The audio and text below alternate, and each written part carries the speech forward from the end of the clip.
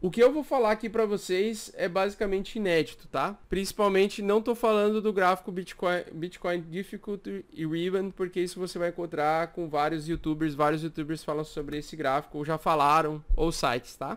Mas o que eu vou falar é sobre inflows e outflows, que é fluxo de entrada e de saída. Um dos principais fundamentos que todo especulador menos prega é a relação da oferta de procura, de oferta e demanda. Hoje eu vou perguntar, pessoal, para vocês quantos bitcoins vocês acham que são produzidos novos na rede a cada 10 minutos. Alguém sabe a resposta? O Wendel falou certo. 12.5 bitcoins. 12.5 bitcoins a cada 10 minutos são gerados são gerados pelos mineradores, ou seja, pelo software do Bitcoin Core e os mineradores, um dos mineradores no mundo todo vai conseguir decifrar primeiro e esse que decifrar primeiro vai ganhar 12.5 bitcoins. O que que são inflows, pessoal? Alguém sabe o que, que são as entradas no mercado? Tem instituições que são compradoras. Hoje em dia tem instituições que são compradoras. Tem iniciantes no mercado. Outro, outros compradores os antigos do mercado, que estão voltando para o mercado agora. Quem já ganhou dinheiro com Bitcoin, quem ou quem já vendeu Bitcoin lá em 2012 e se arrependeu, aí está voltando agora, né? Nós temos então um número de compradores. Quando vocês assistem os meus vídeos no YouTube, vocês têm que saber que vocês são uma, uma, uma, uma fração da população mínima, onde uma a cada 100 pessoas já ouviu falar de Bitcoin, ou pelo menos eh, já ouviu o termo falar, mas nunca ouviu falar de Cardano, Ethereum, altcoins, não sabe o que é altcoin. Então a gente faz parte de um grupo seleto de pessoas no mundo que são nerds e gostam desse tipo de conteúdo nerd, que é basicamente o mercado de criptomoedas, que querem entender sobre esse mercado. Então são pessoas que têm vontade de aprender e que estão indo atrás, certo? Então a gente está a gente é um early adopter. Então as pessoas que compram hoje, elas são early adopter. Que são pessoas que são a, a, a, a recém estão iniciando no mercado. Que esse mercado, diferentemente do mercado de ações que tem mais de 100 anos, esse mercado aqui, ele tem só 10 anos. Ele tem uma, ele é uma um bebê engatinhando ainda e tem gente que acha que perdeu a oportunidade. Certo? Então a gente ainda tem muita oportunidade para surfar. E quem são os outflows, pessoal? Quem são pessoas que oferecem a saída para o mercado? São os vendedores, obviamente, né? E também são quem vocês acham que são? Mineradores. Mineradores são os principais responsáveis pelas vendas. Eles são os maiores são os, são os mais interessados em vender bitcoins. Tá? Por quê? Porque eles vivem num mundo onde, independente do país que eles estão, existe uma moeda fiat contro controladora, que é a moeda do Estado. E para eles pagar funcionários, recursos, mão de obra, eles não eles vão ter que pagar em uh, moedas fiat, em moedas fiat. Então os mineradores são o grande segredo do negócio do Bitcoin, principalmente nesses ciclos de alta e baixa do mercado. Não tenha dúvida que não são só baleias que têm a intenção de vender, então baleias compradoras ou baleias vendedoras, né? As baleias elas estão dos dois lados. Elas também manipulam o mercado. Os maiores responsáveis são os mineradores. Por incrível que pareça, são os mineradores. A cada dia, sabe quantos bitcoins novos são, são gerados na rede, novos? 1.800 1.800 bitcoins. Quanto hoje é 1.800 bitcoins ao dia, novos ao dia, que tem que ter número de compradores para manter o mercado estável, entre compra e venda, oferta e demanda. E por isso que nós estamos vendo o Bitcoin segurar entre 7.200 e 7 mil dólares aí por um período grande de tempo. Faz umas duas ou três semanas que a gente está vendo o Bitcoin entre 7 mil e 7.500 dólares. É. É, vamos colocar aqui conversor BTC dólar. Vou colocar em dólar que é mais fácil. Então são 1.800 dólares. Opa, 1.800 bitcoins a cada 10. Cadê? 1.800 dólares a cada dia que são lançados na rede. Então isso representa 12 milhões de dólares, é isso? 12 milhões de dólares, tem que ter 12 milhões de dólares de compradores entrando todo dia para estabilizar, por exemplo, o preço para estabilizar o preço a 7.500 dólares. Então, para manter o Bitcoin hoje a 7.500, tem que ter uma injeção de capital financeiro em dólar de pelo menos aí por dia, por dia, 12 milhões de dólares. Ou seja, vocês acham que isso é muito ou pouco dinheiro? Então, para o preço segurar, tem que ter um equilíbrio disso aqui, ó. A entrada tem que ser pelo menos a, a mesma do que a saída. A, a venda dos mineradores, a venda desses bitcoins, geralmente, desses novos bitcoins, tem que, se, tem que ter um equilíbrio entre não só os bitcoins já presentes no mercado ao longo desses 10 anos, mas também esse tem que ter um fluxo financeiro monetário de moeda estatal para comportar e segurar o preço. Então o que, que acontece quando vai acontecer o halving? Né? Nós temos duas situações para o preço subir agora. Nós precisamos de mais adoção, ou seja, mais pessoas entrando, e isso acontece continuamente todo dia, entra pessoas novas no mercado, interessadas no mercado de Bitcoin. Elas sempre, quando vão investir no mercado de criptomoedas, elas começam pelo Bitcoin, nunca ninguém começa por Cardano ou por outra altcoin. Dificilmente acontece isso. A maioria das pessoas, ela entra no mercado por causa do, do Bitcoin. E esse gráfico aqui, que representa a dificuldade de mineração, quando ele aponta para nós que os fechos de eles estão se apertando muito próximos, é momento de compra. Então, o momento de compra são quando os feixes aqui de dificuldade de mineração, que representa o despejo dos mineradores grandes, dos, dos mineradores pequenos para pagar as contas e se sustentar, são esses períodos aqui, ó, onde só os mineradores grandes conseguem se manter no mercado e eles têm pouco lucro ou talvez nenhum lucro, eles só empatam as operações. Então, essa, esse frame aqui, essa faixa, é o momento certo onde você precisa comprar bitcoins. Quando tem dificuldade de mineração, quando está nessa faixa a gente vai comprar. E agora começou o entrelaçamento novamente dessa faixa aqui, ó. Tá começando a entrelaçar a faixa das médias de dificuldade de mineração, sendo que pode ser sim um momento propício de a gente começar a acumular. Pode ser o início dessa faixa.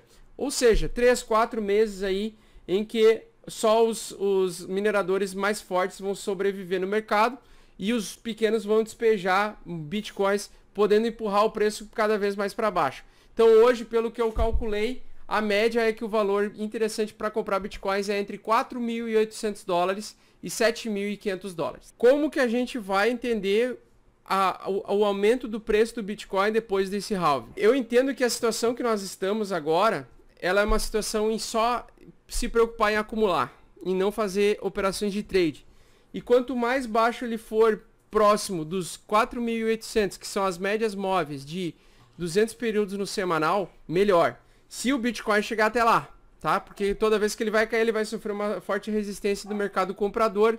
O mercado comprador vai segurar. Lembrando que o mercado estica. Então ele satura tanto numa zona de sobrecompra como numa zona de sobrevenda. Tem vezes que a gente acha que o Bitcoin vai cair para 4 mil dólares e pode ser que o mercado não deixe isso acontecer. Por isso que a gente não precisa, não tem que ficar esperando o momento ideal, o momento ideal de compra, o momento perfeito. Porque na minha visão e na minha opinião, nós já estamos chegando no momento em que a dificuldade de mineração vai se comprimir nessas médias desse gráfico de dificuldade, da faixa de dificuldade de Bitcoin, sendo que pode ser sim um momento propício de compra. Na minha opinião, nós estamos exatamente se repetindo o final do ano passado. Então, no final do ano passado, quando a dificuldade ficou muito grande, é, o mercado começou a despencar e nós tivemos esse despencamento aí do Bitcoin mais de 20% nas últimas duas semanas. Acho que foi 25% de queda nas, nas, nas, duas últimas semanas é, que nós tivemos agora recentemente no final do ano. Só que entenda, não vai cair abaixo, provavelmente não cai abaixo de 4.800 e potencialmente não vai chegar nem perto, tá? Eu acho que o mais perto que vai chegar é 5.800. Se o Bitcoin na próxima semana ou na outra cair para 5.800, não tema, tá? Não tema porque você vai estar tá comprando o Bitcoin muito barato e pode ser que dure por muito pouco tempo essa compra, se o mercado deixar, se o mercado deixar. Por isso que eu acho já interessante fazer a estratégia de ficar acumulando Bitcoins neste momento, comprar Bitcoins já a 7.200, 6.500, 5.800 Porque se acontecer essas oportunidades, aproveite essas oportunidades, pessoal. Aproveite essas oportunidades.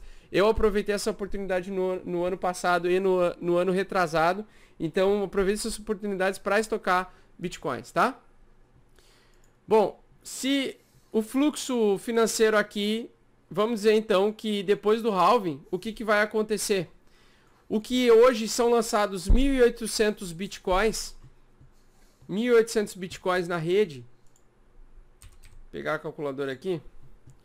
Hoje 1.800 bitcoins. Então vai, vai cortar pela metade, vai cair para 900, certo? 900 bitcoins. Então agora vamos pegar o conversor novamente e vamos colocar agora não 900, mas não 1.800, mas colocar 900 bitcoins. Então vai cair pela metade também o número de fluxo financeiro que tem que entrar no mercado todo dia para manter o preço estável a 7.500. E aí vocês concordam comigo ou não? Se, por exemplo, antes era exigido que entrasse de capital financeiro, tá? Que seja uh, moeda fiat, dólar, real, euro. Se antes era o dobro que precisava e agora cai pela metade o que precisa, ou seja, agora só precisa, ao invés de 12 milhões de dólares, a gente só precisa de 6 milhões de dólares. O que, que vai acontecer com o preço ao longo dos meses subsequentes? Que, que vocês acham que vai acontecer? O que vai acontecer é que o mercado que precisava de ter uma força compradora que fosse forte o suficiente para injetar fluxo financeiro de moeda fiat de 12 é, de novos 12 milhões de dólares a cada 10 minutos, vai cair para 6 milhões de dólares. E aí vai, vai ocorrer a desproporção da relação oferta e demanda e basicamente o preço vai disparar para cima novamente. E na minha opinião, o, o melhor gráfico de todos para a gente entender isso é o Stock to Flow Model. Já dei uma, dei uma salvada, tá? Nos dois gráficos, porque para você ser position trader, você vai utilizar esses dois gráficos. Então esse gráfico do Bitcoin Stock Flow, ele é o gráfico mais perfeito que existe na minha concepção e é o gráfico que o Bitcoin mais respeita, tá? É o gráfico que o Bitcoin mais respeita. Com base no halving, o que que representa essa cor aqui? Aqui é o número de dias que falta para o próximo halving. Leva mais ou menos 1.400 dias, 1.400 dias de um halving para o outro halving. Então, quanto mais se aproxima, mais a cor tende a sair do vermelho e ir para o azul. Então, quanto mais próximo nós estamos do próximo halving, mais a cor vai ficando azul. Esse azul ele não quer dizer, por exemplo, preço mais baixo ou mais alto. Ele quer dizer que nós estamos se aproximando do próximo halving. E esse momento, que é o momento azul, é o momento de compra. É o momento de compra. Esse é o período em que nós temos que comprar bitcoins. O momento de zona azul é o momento quando começa a entrar no momento de zona azul é o momento de compra. Porque, por exemplo, quem comprou aqui em 2016 ou aqui em 2012 para 2013 teve uma alta exponencial logo depois desse dessa zona azul de mais de 2.500% de alta. Tá? Teve alta de 1.500%, 2.000% nos dois anos seguintes. Nos dois anos seguintes. Então nós estamos entrando numa zona de acumulação, uma zona de que nós temos que focar em comprar bitcoins preferencialmente sem stop. Preferencialmente sem stop. Se quiser colocar stop, coloca stop abaixo dos 4.800 dólares. Tá? Se quiser se defender, vamos dizer, do caos, do apocalipse. Colocaria, então, compraria bitcoins hoje a 7,200. Tentaria comprar bitcoins a 6,500 novamente. É, eu consegui comprar bitcoins esses tempos a 6.700 e a 6.700 dólares, né? É, que já é um preço extremamente bom para esse período que estamos. Mas se a gente conseguir comprar a 4.800, ótimo. Se a gente conseguir comprar a 5.200, 5.800, perfeito. Vai ser melhor ainda, tá? Vai ser ótimo comprar bitcoins a esse preço. Porque vai ser a última oportunidade em dois anos próximos da gente pegar o Bitcoin uh, a esse valor, até porque a, a necessidade de entrar capital fiat vai ficar desproporcional mais uma vez e por mais ou menos 18 meses nós vamos, vamos ter lá. altas exponenciais novamente, somente por causa da desproporção da exigência do mercado, mesmo que os mineradores disparem bitcoins na rede. Tá? Então vai ficar tão difícil ter um Bitcoin inteiro em 2021 muito mais do que hoje. Muito mais. Muito mais. Né? Não é o dobro. É muito mais. É quatro vezes mais. Certo? Porque vai ter menos. Os mineradores vão estar produzindo menos bitcoins a cada 10 minutos e eles é, vão, evidentemente, vão estar vendendo menos bitcoins.